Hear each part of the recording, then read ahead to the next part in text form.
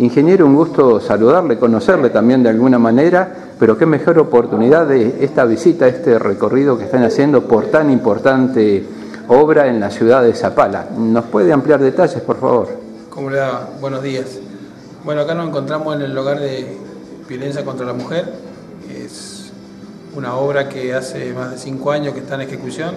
Hemos tenido varios traspiés. Bueno, la idea es terminarla así que hemos vuelto a contratar el personal que estaba, estuvo trabajando el último tiempo acá en, esta obra, así que la idea es avanzar con los trabajos, con los materiales que disponemos por el momento, que no, son muchos, pero bueno, por lo menos eh, estar en, este tiempo de un mes, 40 días con lo que es colocación de aberturas, los raso, instalación eléctrica y demás que quedó inconclusa y pisos. Así que bueno, la idea es en un plazo no mayor de cuatro meses poder contar con esta institución para la sociedad de Zapala.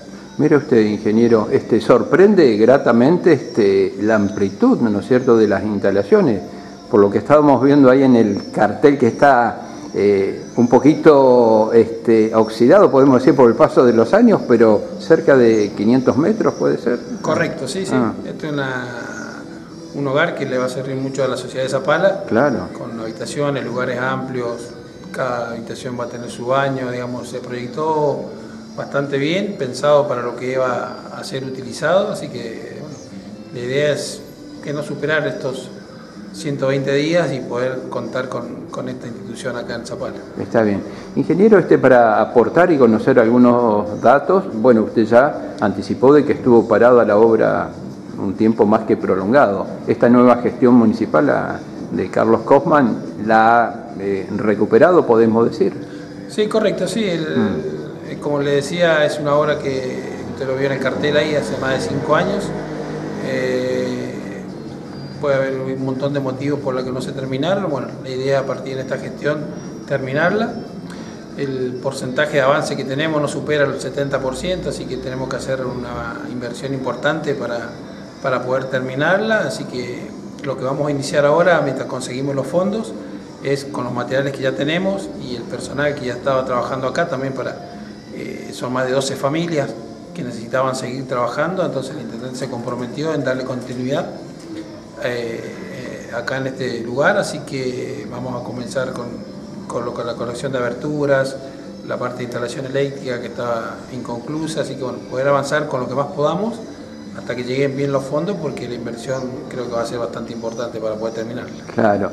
Hablando de fondos, eh, la obra originalmente era financiada por Nación, ¿bien lo digo? Correcto, sí, sí. Lo original era financiada el 100% por Nación. Eh, escapa a nosotros, a mi secretaría, el por qué o no se terminó, o si no llegaron los fondos, eso ya es más responsabilidad de Hacienda y contrataciones. Y así que bueno, la idea de nosotros es tratar de buscar los fondos, hicimos un relevamiento y bueno, el Ejecutivo es el que va a tratar de buscar los medios para poder contar con esta institución acá en Zapala. Está bien. Bueno, para orientar a, la audiencia, a quien está observando la entrevista, está ubicado en un lugar, podemos decir, estratégico de Zapala, sobre calle Ibarrolaza, a pocos metros del conocido supermercado La Anónima.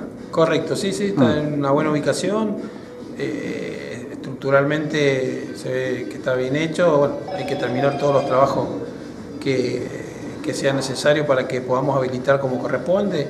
Hay que hacer una pequeña red de gas que también ya está presupuestada. Eh, va todo con calefacción central, así que una buena construcción y un lindo, un lindo como podemos decir, eh, establecimiento que va a ser muy aprovechado por la gente acá de Zapala y que lo necesita mucho. No, seguramente. Ingeniero, le agradezco infinitamente, este, no le saco más tiempo, pero lo comprometo en unos días más, este, eh, como medio de prensa a visitarle y poder desarrollar este, un poquito, dar a conocer todas las actividades que de vuestra Secretaría están llevando a cabo en, obras en la ciudad. ¿eh?